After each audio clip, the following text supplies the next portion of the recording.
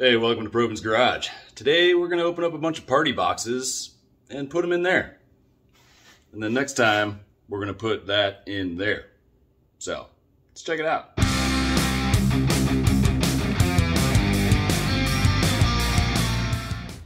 Well, back from hot tanking. This motor looks fantastic. I mean, it's like brand new. Got some new cam bearings put in because they had to take those out when they hot tank it and I just figured go ahead and have them put the new ones in. That way I can't screw them up. But even the paint on the side of the block the factory paint looks fantastic. I'm just really excited with how this turned out. So as you can see I've already got the crank in. Um, I went ahead and checked the clearances on all these journal bearings and they are all perfect I did do brand new uh, bearings in there as well, so I was a little nervous that you know they might be a little, little too tight or a little too loose in some places, but everything looked great. So that's awesome. I am going to do ARP studs. I decided on that just recently. I figured putting ARP and everything else, might as well do it on the bottom end. Um, but these are in here for now, torque down, and then once the ARP studs come, I'm just going to take these out, put the ARPs in, torque them to spec, call today. While I was at the shop, I also got the crank polished. It did, really didn't look that bad, but figured it was only like 60 bucks, and I was like, yeah, just just go ahead and do it. One less thing that I can even possibly worry about. So, let's have a look at all the stuff that's going in this puppy. Well, we got a table covered in party boxes, and this is mostly the stuff that I'm going to try to get installed in this episode, which will pretty much get that motor ready to rip. So I got a new Melling oil pump because factory works fine, but Melling is the best. And oil pressure is kind of your best friend. Also got a double roller timing chain and gear set. Um, don't really need to do double roller, but it was the same price as single roller, so why not? Got some Trunnion upgrade kits for the rockers, which I talked about in the last episode. We'll get those installed at some point. Stage 3 turbo cam from Summit. Gonna make some potatoes. Got a Melling cam plate to hold that puppy in. ARP head studs to keep those heads locked down under lots of boost. We got LS7 lifters and lifter guides or trays. And then the real meat and potatoes here is the Forged Pro LS pistons and rods from Summit. These things are rated for 1200 horsepower. And you know, ratings are always a little low. They got a safety factor, so I'm shoot for 1250. I like to party. So, anyway, I'm pretty excited about all this stuff, so let's start getting it in. So the old timing chain gear came off pretty well. This actually is what drives the oil pump as well. It's an integrated unit. Um, I did have to modify my three jaw puller a little bit. I had to grind down the tops because I couldn't get behind the gear. But that shouldn't really change any strength in the puller. And it worked great to come off. The new design for the double roller chain has a whole bunch of different increments that you can set to change the timing of your cam. I'm not going to mess with that. You got a zero right there. If you leave it at zero, that's just stock. And the nice thing about these is they don't need to be pressed down. They just slide on there. And then you have a separate piece for your oil pump, which also just slides right on. So that's pretty nice.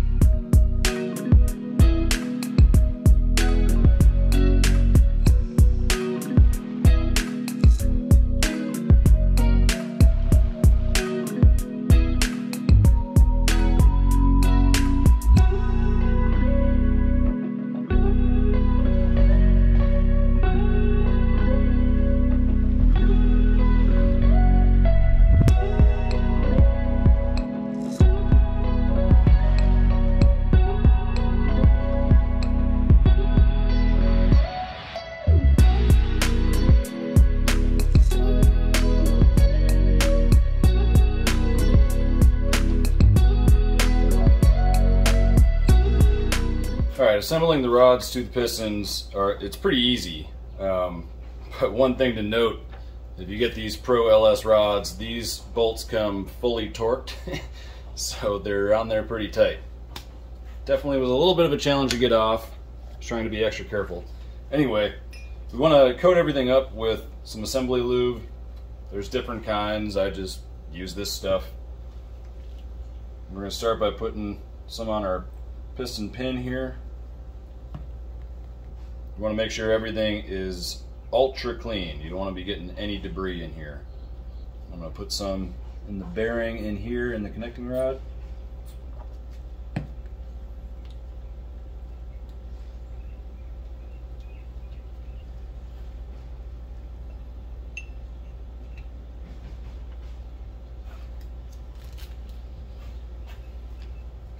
And I already have a clip on the one side of the piston pin. Now I gotta put the other one in. These things can be a little tricky sometimes, but this type isn't too hard. A little trickier with assembly lube all over your fingers, but we'll make it. Here we go. To make sure that's fully clicked in. I'm to double check these a couple times as I'm putting this stuff together. Alright, so now I'm to put some new bearings in these connecting rods. So again, more assembly lube.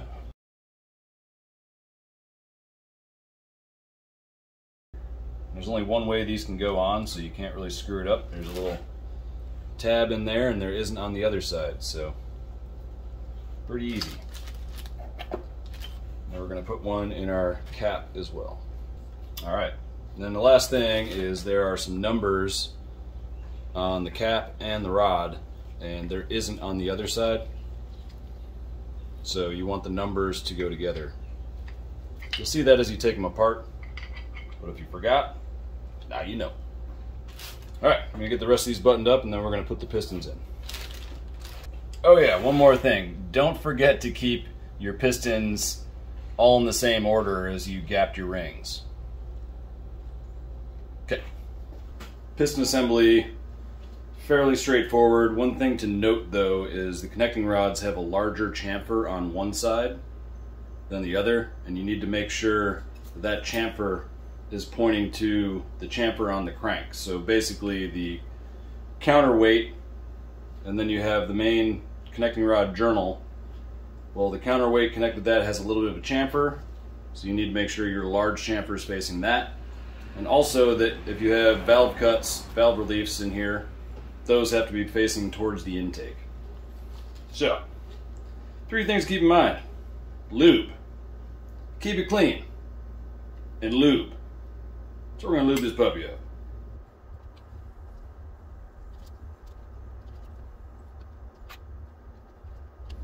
All right, and then one other thing to note is where your piston ring openings are. I like them to be at opposite sides. So after you lube it, they'll probably have moved around a little bit. Just make them completely opposite facing. And you want to do that with your oil retainer rings too. Just make sure that they're on opposite sides. Let me just stick this puppy in here. Getting it as straight as you can by eye. You can always adjust it a little bit later. And there are definitely better spring compressor tools than this. These things kind of suck, but they do work. So I just get that over all the rings, make sure I'm pressing down on it flat against the, the deck of the block and crank her down. Can't remember if you lubed anything? Lube. Making sure it's still pressed down nice and tight. We're just going to lightly tap on the top of this.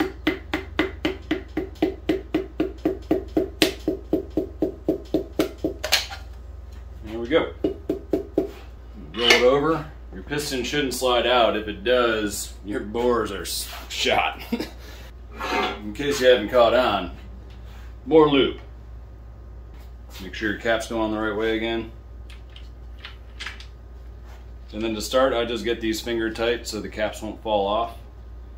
And once all the pistons are in, I'll go through and do the torquing sequence. So I'll, I'll see you then. All right, so once you got your last coating of lube on these bolts. We can get them all tightened up and you want to make sure that you have torque these to 30 foot-pounds, then 60 foot-pounds, and then a final torque of 95.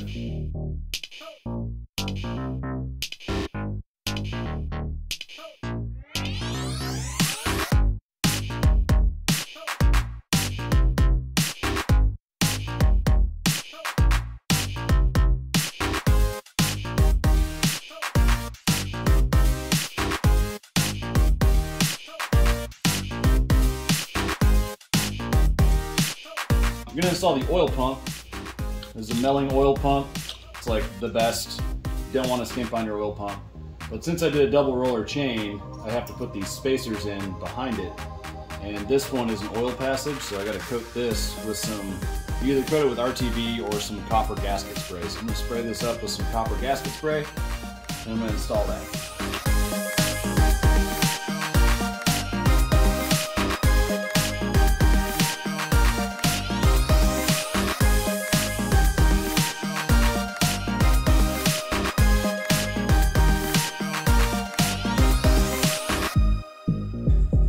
So I finally started doing the trunnion upgrades in my rocker arms.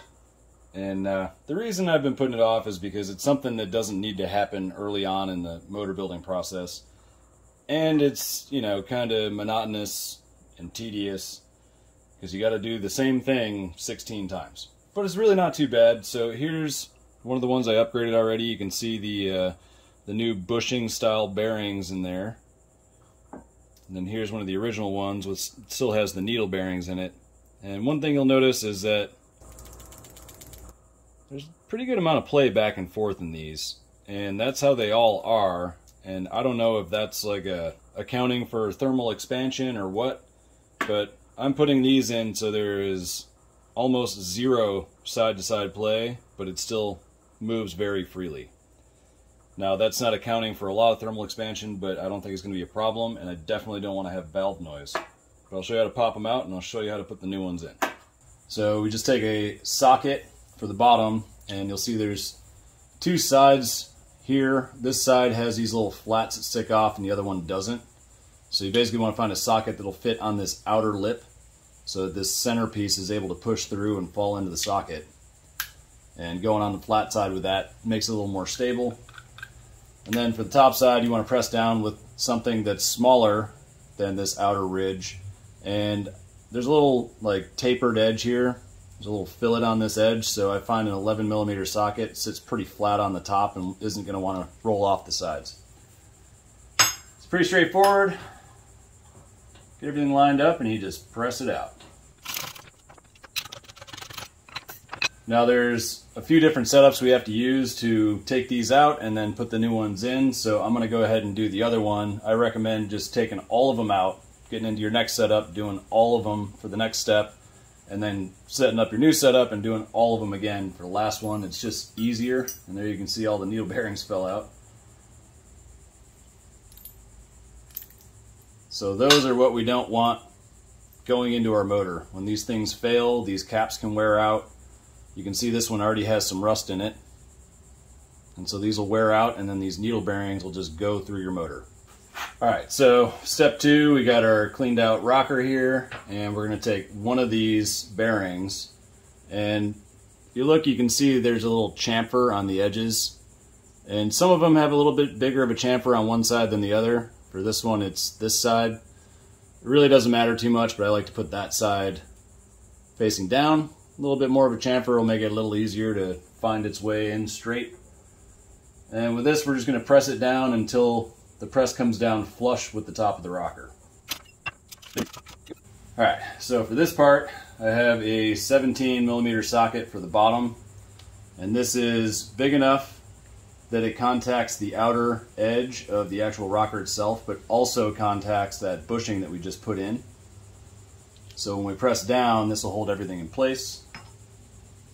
And for the top one, I've got a 5 8 bushing, and this is large enough that it'll fit over that centerpiece and make contact with just the bushing.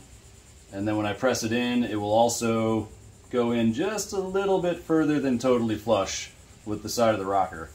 And so in the instructions it says get both sides totally flush with the outer face of the rocker, but that leaves a little bit of play in there. And I don't really like that. I don't want to have noisy rockers. So I'm going to push mine in until there's almost no play, but they still rotate freely. And if it's a problem, you know, I'll take it take it apart later. But I like things to be precise. So we're going to press this in, and you might feel it hang up a little bit right there. So now I'm going to back it up just a little bit. And then just make sure that my socket is centered over this thing so it can slide over that center piece that's going to stick through a little bit. So I'll push it down until it's just flush with the top. Back it up a little bit. We're going to check our play. And there is almost no play. This is honestly the first one that I did where I nailed it on the first try. All right, and then the final step is we just have some little clips that go on the outside, some snap rings. So you got to have the right size snap ring pliers. They're pretty small. You can probably get them on another way, but it'll be annoying. So then you can see there's a little groove in there, and we just snap this puppy on. There we go. The thing is ready for some horse puppies.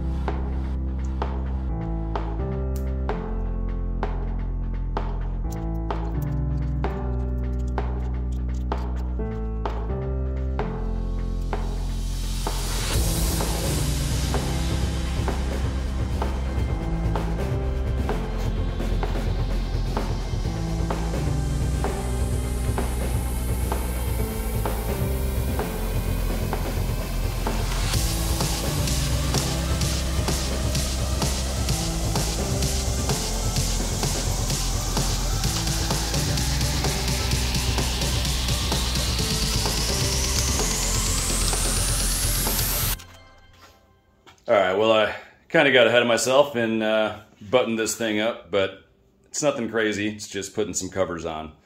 Um, I got the turbo headers on there just to mock them up.